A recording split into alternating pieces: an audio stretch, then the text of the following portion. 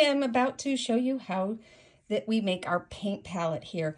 This is going to be a fun little fusible project. Hopefully you will all enjoy it. Um, with this, we're going to start with the background here, or the palette here, and do some tracing, and then we're going to go through how we're going to fuse all this together. So I have pre-cut a lot of my fabrics, and I have um, already taped a few things together here as far as my templates go. Now, one of the things that I'm going to need is my template here for my palette. You can see it's just slightly bigger than my work surface, but we're not going to let that bother us. We can move the paper to make it work. Now, if you need to, you can tape this down um, to make it, you know, so that it doesn't move. But if you trust yourself, then don't worry about it. So I am going to do this so that um, I can see my lines and I'm going to trace this here. You may not be able to see it, but I'll be able to see it um, with this green line that I'm putting. It, this is a using a Sewline um, ceramic pencil here. Um, you can use just about anything you want to trace these. I strongly suggest you don't use a Sharpie. Um, these things will wash out. So you want to make sure you test whatever you're using um, so that it'll wash out if you plan to use this where you're going to where you're going to be um, washing it in things. Mine is strictly going to be for my use, so I'm not so worried about it. Um, but I don't want the, the, the green lines to show up on everything else. So I'm going to be really kind of careful on how I do this. Um, I like this because it's it's heat resistant. Um, usually I use a um, air erase marker. I like my air erase markers because they just kind of disappear over time. But I'm going to be doing a lot of pressing today, and I don't want to accidentally have that um, marker take hold on my um, fabric and become permanent. So all I'm doing here is I'm tracing through this. Um, you guys will probably enjoy seeing this when it's done. But I'm tracing my circles first, and then we'll go through this. I'll fast forward through some of this for you so that you don't have to watch all of it. But we'll make sure that you see all the important bits, and this is where I get to shift my fabric um, to make sure that I can see it all. Okay, now I'm going to do this a little differently than you probably are used to the applique. Um, you're probably thinking, okay, well, why doesn't you just cut this? You're just going to put these pieces on here, right? Um, no, I'm actually not. Um, I'm doing this a little backwards, and that's actually what the instructions call for, is to do this a little bit on the backward side. Um, and the reason I have you do it a little backwards, this is going to be my trick to this, is um, we don't want to have to change our threads often um, to secure our applique. Because, you know, despite what you what everybody thinks, fusibles aren't necessarily permanent, um, depending upon the fusible you use. And so I like to make sure that mine stays put um, with a little bit of sewing so that we don't have to worry about that. Now, some of the fusibles you'll use are a little more permanent than others, but the, usually the web benefits from some stitching. So now I'm doing my tracing of the outside here. Okay, I'm not using a FriXion marker. Um, I am not, I, I use them plenty when I'm doing half square triangles and um, other things where I know that I am not going to have any of it show later.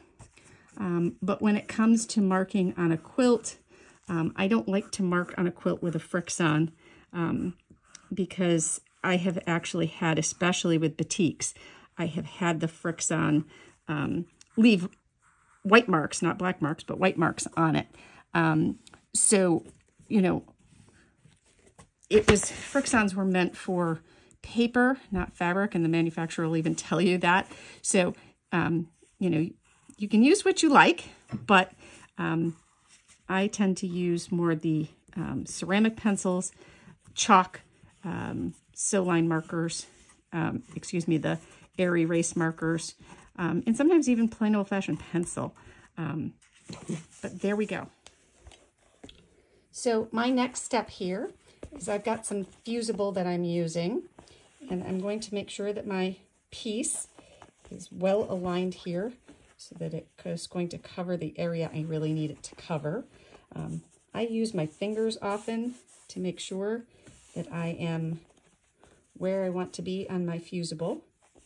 And when all else fails, you can kind of put your finger down and go, yep, I'm there or I'm not there. So I've got a little extra room over here I can use. Here we go. That's the edge there. So my next step is going to be to just fuse this down. Most fusibles, like a hot dry iron, always double check what the manufacturer's instructions want you to use. So I always double check. I will see if this peels off pretty easily. This one's pretty tight because I didn't go all the way to the corners with this. So my, um, I'm using a Pellon 82. It's a, it's a double fusible. Um, it's a sturdier weight than most of the, the webs out there and it gives a little dimension to it. So my next step here is going to be to cut this out. Now cutting out the outer side, um, I'm going to do really quickly here.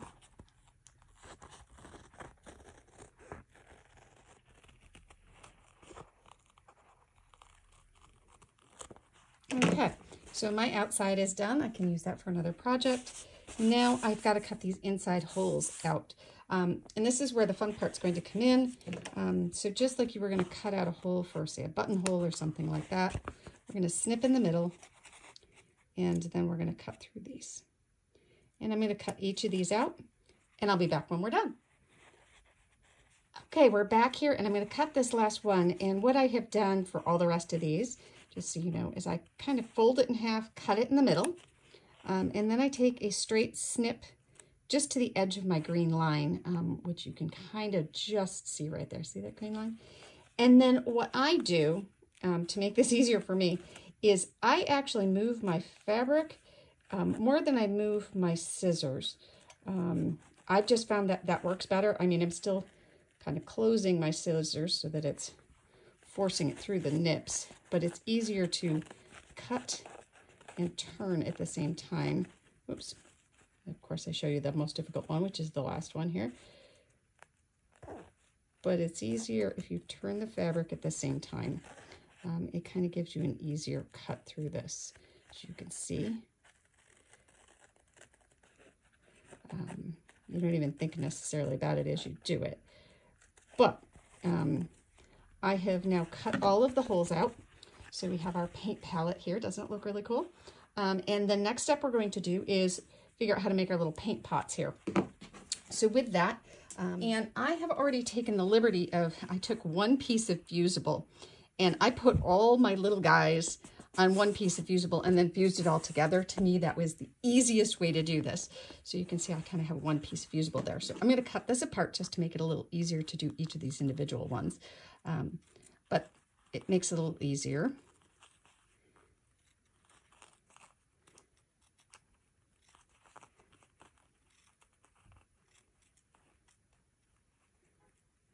Okay, so with this, I'm going to show you with one of these how, um, how we're going to use um, fusible, or um, excuse me, freezer paper. So if you haven't used freezer paper before, um, basically I traced this from our pattern, um, which was right here. And I want to use the bigger outer circle when I do this from our pattern because this is going to go under the palette. So I don't want any of the edges showing and it's much harder to hit a small target than a large target. So we're going to use the larger one. And then I am going to do this the easy, easy peasy way for me, which is these are the two inch circles. And it doesn't matter if a little edge gets cut off because guess what? It's going underneath and nobody's going to see this edge. So I use the freezer paper, I peel it up, and then, you know, I could just use these flat as is as squares. Don't really need to trim them because I've already got my circular thing they're fitting under. I just like the idea of them being a little rounder and then I'm not going to have anything kind of showing through um, that's not uniform. Okay, So I'm just going to go ahead and trim all these up like so. And to remove your freezer paper, you can just pull on the edge and it peels right off. Um, so I'm going to go ahead and make the rest of these and we'll join you in a second. Okay, so now we have put our design under our mat um, and that's so that we don't have um, any damage happen to um, my uh, wool table that's under here. So by having the mat down, it uh, protects that. Now, I have my image here of my paint palette. And so I am going to follow the coloring here that we're using. So in this, my black is at the far edge here. So I'm going to put my black piece down. And then comes my white piece, um, just so you guys can see it here on the edge. So I'm going to put that piece down there. As you can see, these pieces, um, as we cut them out, are plenty big. I'm just going to try and make sure they don't overlap too, you know, because then we'll end up with a bump. Um, the next color that comes up here is red. And again, if it pops out a little bit on that edge, not a problem because we're going to be trimming all that down again anyway. And then we kind of do our rainbow colors here. So um, I'm going to do my orange, um, my yellow, my green, my blue over here. And then the last step here is purple and we leave the thumb hole, that's what that is, uh, free. So I'm just making sure these are all kind of separated and they're not on top of each other so that we don't have any bumps. Okay, so we won't have any bumps. And now I'm going to take my fusible here that I, where I have made this, okay? And now I'm going to set this on top of these. Kind of cool, huh? Oops, I got to turn it one more side here. There we go. And you can see it's going to cover each of those effectively. And because I have a fusible on the back of this, these should all fuse together now. So I'm going to take a little bit of time and let this fuse down. When you're doing your fusing, make sure your iron is clean so you don't have any sticking issues. If your iron isn't clean, cool it off, clean it off, take that time so you have a pretty project. Now, you may ask, why didn't I just put these little thingies on top? Well, there's two reasons. Um, and the two reasons are one, it, it would have been a little harder sometimes to aim and put these on top. Um, so that's one reason. It's the lamer of the two reasons. Um, but my real reason being, um, I don't want to have to change colors every time I'm securing these because um, that means changing my bobbin and everything else. Because I'm doing it this way, I can use the same bobbin because I'm going to stitch around the outside here and connect in with the palette instead of the paint. So that's why I did it this way. It just makes sure that I only have to use one, um, one thread change. So using one thread change is much more preferable to eight thread changes. So that's why we did that. So we're gonna give this a minute to cool and once it's cool, we're going to put our brush together. Um, and the brush will go on here, but we're going to put the brush together before we add it here. So let's move to the brush. Okay, so I needed a little extra fusible here um, for my piece. So I've added a little bit here. And we've fused down quite a bit of this already. So we're going to put this fusible under here. We're just going to make sure he sticks on there nicely. Okay, so the reason for the extra layer here was so I didn't have a bump here. Um, you always want to make sure though that, you know, your um, fusible is down pretty, pretty well um, and that you don't have any sticking out from under. So you want to make sure that you trim that pretty well. So we're almost to the end of this. This hasn't been that hard of a project. It's been actually quite a bit fun. So as you can see, it's all fused together because it lifts up together. Um, I'm going to pull out my centerpiece so I have my, my piece of backing fabric here, or um, base fabric. Now, if you really are, are, a stickler, you can put this under here to make sure that it's absolutely centered. Um, but I have a pretty good idea of where my where my piece is. Um, I can see kind of the shadow through the edge here, and I want to make sure he's pretty well centered. I cut my squares a little large so that if I have a if I have a blooper, I can trim it up. Um, but make sure when you do this uh, that you have removed any threads or hairs um, before you get going. Now I'm going to fuse this down. And you'll note I am pressing, not ironing as we go. Now you do have a choice at this point in time, after everything is fused down nicely. Um, your option is you can start doing your, um, whoops, that part's not down. There we go. You can um, actually stitch this down now. That's up to you if you want to stitch this down now.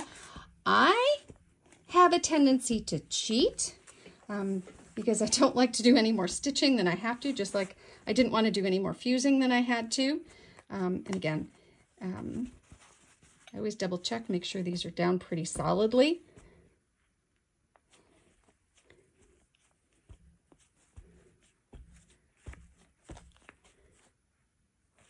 Okay, it's down pretty well. So you can stitch them now or we can quilt as we go, which is what I'm going to show you next.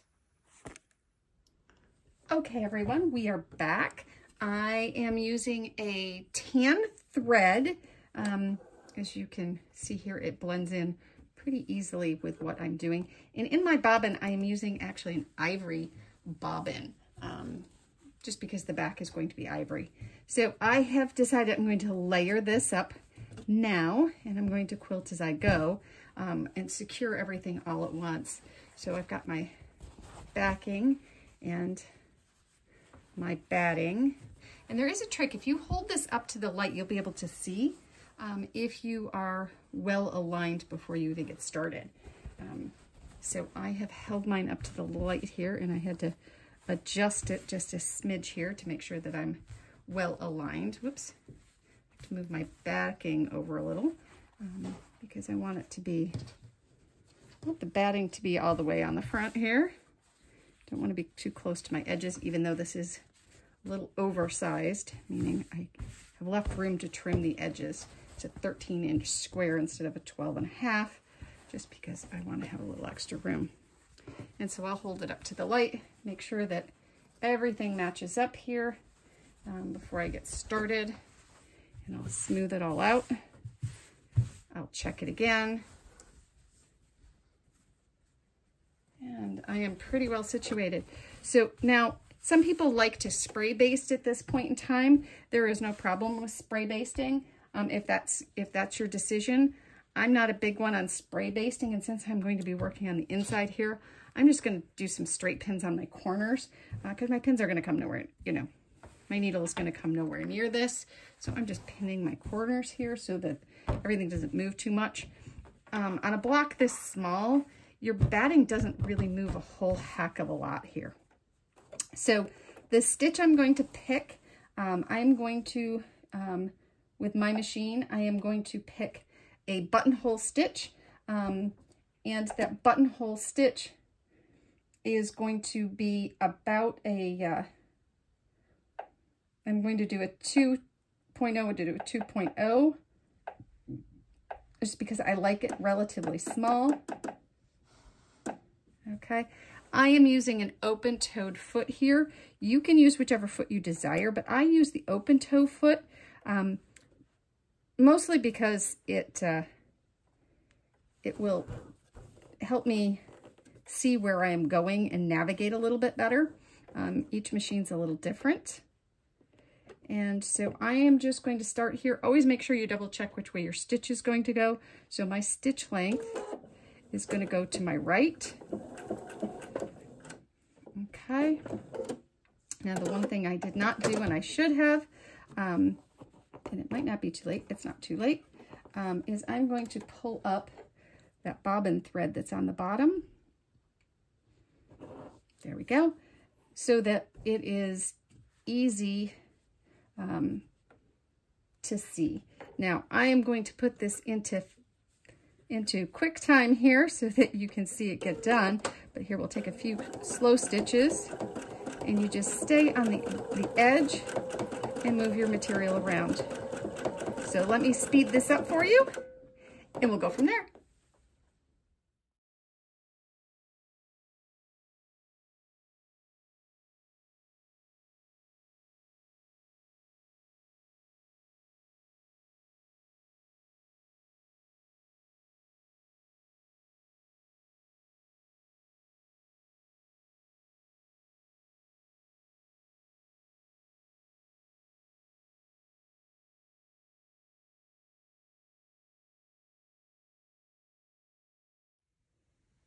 So you can see where we are now. I have done some stitching around each of these so that uh, this actually has some good poof to it.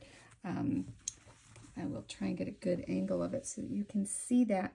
But you can see it has kind of some dimension to it now. Um, and the only spot I have not done my blanket stitch on is right in here.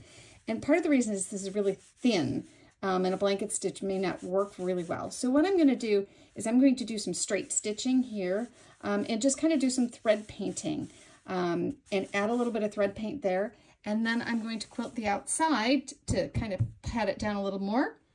And this baby will be done. Okay, so now what I'm going to do here is I'm just going to do a little bit of thread painting right around the edge here. And I've picked a black um, just to give a little definition here. So I'm uh, going to pull my th first thread up here so that it, um, there we go. Now, as you can see when I'm pulling this up, I have used, I'm using a, a bobbin that's pretty light. Um, and that's okay, because I don't mind if this isn't, you know, if it, it, it looks a little lighter here. Um, but what I'm going to do is I'm just going to go around the edge here, right on the edge of this. Okay, and this is again, just to hold it still. I'm going to do a little bit of, of needlework here on my, um, on my brush. Okay, and I'm actually going to do a little bit more on it than, than I normally would, and that's because I want to give it a little texture. Okay, so we're going to, as you can see here, there we go, flip that back down. And because I've got the light colored bobbin, it's going to actually give it some of that extra texture on here.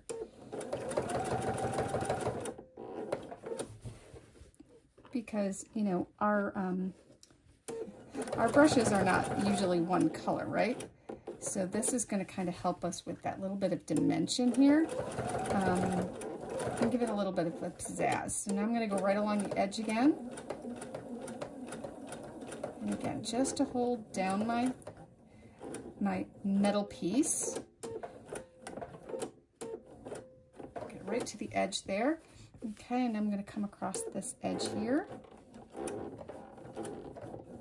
All right, and I'm going to come back down here just a little bit. And you can see I'm actually doing a little bit of an outline here. So I'm going to come back here and just continue this outline around the edge of my brush. And again, it's just to give a little definition because this is my brush. And it's kind of a close color to the palette. Now, if you wanted to use this slightly darker, you might not have to do this, but I want to give a little definition. Just a little bit, not a lot. And you'll see it as I turn it around how nice this is going to look. See, isn't that give a nice definition there um, on this side here? And then we're just going to come back down this side. And again, it's just to provide a little definition here, a little highlight.